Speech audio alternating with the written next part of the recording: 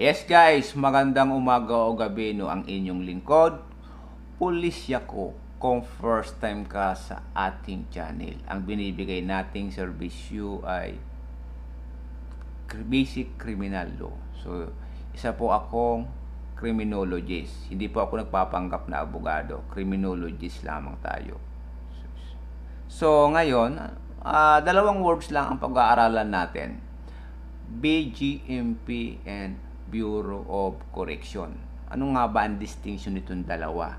Bakit magkahiwalay sila? No? Ang BGMP po ay under ng DILG din na mayroon sarili ding department. Ano nga ba yung BGMP? Bureau of Penology, no? Uh, Bureau of Jail and Penology. So, correct nyo na lang kung sablay. Basta BGMP under ng DILG siya. So, ito ang purpose nito, mayroon siyang mga rang-rank din, may mga ranggo din yan. Ang purpose ng BGMP ay sila yung tagapangalaga ng mga akusado na nililitis pa. O, magmula noong may complaint hanggang sa pag lilitis hanggang sa makaroon siya ng final judgment. Yun po ang function ng BGMP. Kaya magtataka kayo, no?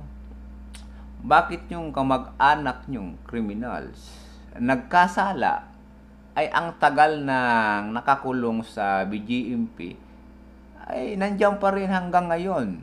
20 years na, 25 years na nandiyan pa rin sa BJMP. At nadadalaw nyo pa rin, swerte nyo, no? Swerte nung nasa BJMP kasi may dalaw pa. Malapit sa mga relatives ka nga. Kasi nga po, hindi pa siya nagkakaroon ng final sentence. Okay? So, with hanggat hindi pa nagkakaroon, BGMP nangangalaga niyan.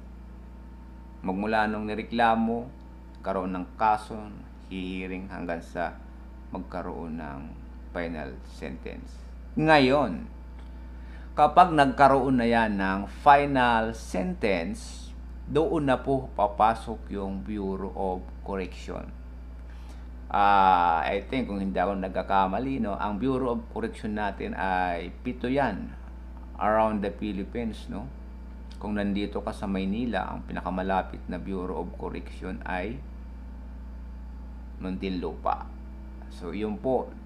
Kapag ang akusado ay nakaroon na ng final sentence, na lang uh, sabihin na natin above 6 years, ay ililip, iti-take over na yan doon sa Bureau of Correction, doon na siya ililipat, doon na siya ikukulong. So, Bureau of Correction na yon. Ang mga tao sa Bureau of Correction, sila yung mga mayroon ng final sentence karamihan or lahat halos. Okay? Yan po. Ang SOP niya, kung, sa, kung yung akusado saan siya malapit na Bureau of Correction, doon siya ikukulong. Kung sa Maynila, sa Muntinlupa, kung sa other parts of Luzon, no? may tinatawag tayo, hindi ko memorize na noon. May, may natawag tayong iwahig. Saan ba yung iwahig? Nakalimutan ko na, sorry. Yung, basta yun po, marami. Yung iwahig, yung kulungan natin walang bakod yata. No? So, ang lahat doon, doon, mga dinadala doon, mga mahabang sintensya. At diyan sa loob po ng Bureau of Correction, may category din yan. Alam ko tatlong faction yan. Medium, minimum, o maximum. Diba? Tatlong category din ang kulungan dyan.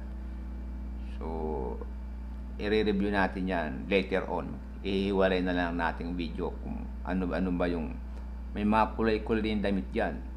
Nakakalimutan ko na, naalala ko brown or basta ganun.